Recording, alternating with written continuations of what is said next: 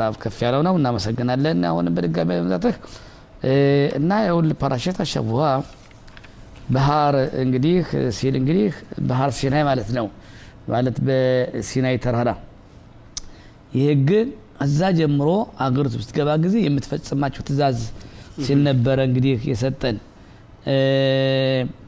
እግዚአብሔር ሙሴን በሲናይ ተራራ ላይ እንዲህ ብሎ ተናገረው ለእስራኤል ልጆች እንዲህ ብለህ ንገራቸው። እኔ ወደምሰጣቸው ምድር በገባቸው ጊዜ ምድሪቱ ለእግዚአብሔር ሰንበት ታድርግ። ስድስት አመትም እርሻህ ዝራ። ስድስት አመትም ወይንህን ቁረጥ ፍሬዋንም አግባ። በሰባተኛው አመት ግን ለምድሪቱ የረፍት ሰንበት ለእግዚአብሔር ሰንበት ትሁን። እርሻህ አትዝራ ወይንም አትቁረጥ። የምድራቸውንም ገቦ አትጨደው ሲል እንግዲህ በመጀመሪያ የሚጠቅስልን እንግዲህ ምድሪቱ ማረፍ አለባት የሚል ነው። ምድሪቱ ተረፍ ሲል ምን የምድሪቱ ለምን ነው ማረፍ ያለባት? ምን ድካም የትኛውስ እንግዲህ ትታጋጥማት ነው? ሀለሸው ነው ያው የምትታረሳለው ነው የሚዘራ። ዞሮ ዞሮ ምንጊዜም ያን ለምን ነው አላማው እቺ ጥያቄ ጋም እግዚአብሔር ስድስተኛው ቀን ስራ ሰባተኛው ቀን ረፍ ብሎናል በሰንበት። ዛሬ ግና ሁሉ በሰንበት ዶ ይሰራል። ምክንያቱም በሰንበት እጥፍ ነው የሚቀበል። አዎ ምድርም ደግሞ ሰባተኛው አመቷ ማረፍ ያስፈልገታል። ለምን?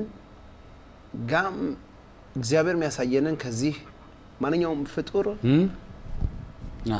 ማንኛውም ፍጡር ብዙ የጎደለው ነገር ስላለበት። ጎደሎ ነገሩ ምንድን ነው እኛ የተፈጠርነን እስከ መሆናችን ድረስ ሁሉ ጊዜ ይጎልናል ኃይልም ለዛም ደግሞ ጉድለታችን የምንሞላበት ትንሽ ማሳሰቢያ ጊዜ ያስፈልገናል።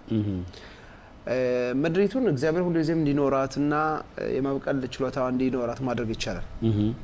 ሁሉን ግና ያደረገው እግዚአብሔር ለእኛ ሲል ነው። ሁለት ነገሮችን በዚህ መማር እንችላለን። አንደኛ እኛ እግዚአብሔር ሲፈጥረን ጎደሎ አድርጎ ነው የፈጠረን። ሲፈጠረ እንኳን ብሬት ሚላም የተለያዩ ነገሮችን እንዲጎልነን አድርጎ ነው።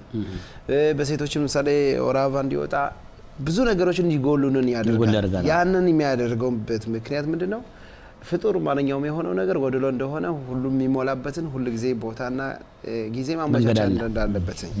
ሁለተኛው ነጥብ ደግሞ የእኛን እምነት ነው። እስኪ ማን ነው? እግዚአብሔር ስላለ ሰባተኛውን አመት አላርስም አለንትን በአሁኑ ጊዜ ሁሉን እኛ በፊታችን ላይ ያለ። ግን በድሮ አባቶቻችን በኖሩበት ጊዜ እህል ያልዘራ ያላጨደ አያገኝም። ድርቅ ነው ባዶ ነው የሚቀር በዛን ጊዜ ምንድን ነው የሚለን? በስድስተኛው ቀን ቫስታ ተትዋ ሁለት በስድስተኛው ዓመት ሶስት አመት እንድትጠቀምበት የስድስተኛውን የሰባተኛውን የስምንተኛውን አመት እንድትጠቀምበት ጨምረ ይህ የእምነት ሂደት ነው። እኔን ታምኖኛላችሁ ወይስ አታምኖኝም